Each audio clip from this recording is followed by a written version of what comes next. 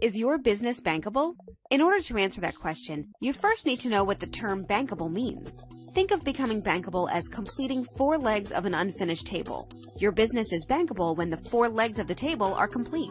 Leg 1 is completing all lender compliance items.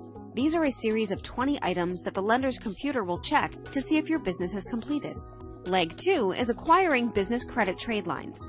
Your business credit reports must show at least 10 reporting trade lines. These are accounts you have with vendors or lenders that report how your business pays its bills. Just like trade lines on your personal credit reports, business credit trade lines report every single month if you pay early, on time, or late. Leg 3 is having strong business credit scores. Your business must have credit scores of 70 or above to be considered strong. To a lender, the higher your scores, the more likely you are to pay on time. Leg 4 is having a good business bank rating. Banks assign every business a rating based on the average daily account balance of their business bank account. This indicates the business's ability to pay their bills. Your goal is to maintain at least a low 5 bank rating. Now that we know the requirements for becoming bankable, how do you know where your business stands? Is your business bankable?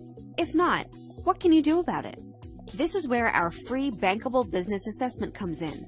By completing the short assessment, you will learn where your business stands in the process of becoming bankable.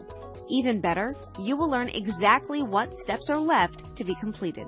Becoming bankable is easy, but it is not an overnight process. If you are serious about building a successful business, then get your free assessment today.